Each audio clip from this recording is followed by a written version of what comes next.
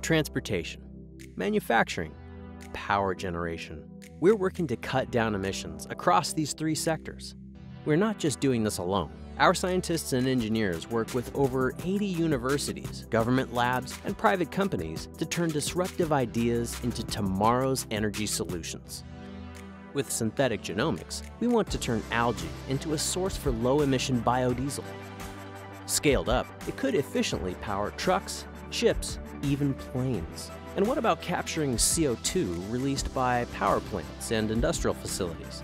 We've partnered with a number of companies to design new, more efficient carbon capture technologies. Companies we work with include Global Thermostat, Fuel Cell Energy, and Mosaic Materials. All three are developing systems to soak up CO2 before it enters the atmosphere. We love big ideas, so do our partners, and together we work to turn them into tomorrow's energy breakthroughs. That's why we've also partnered with the National Renewable Energy Lab and the National Energy Technology Lab to scale up lower emission technologies. Algae biofuel, carbon capture. We're building a value chain of innovation to develop tomorrow's energy game changers.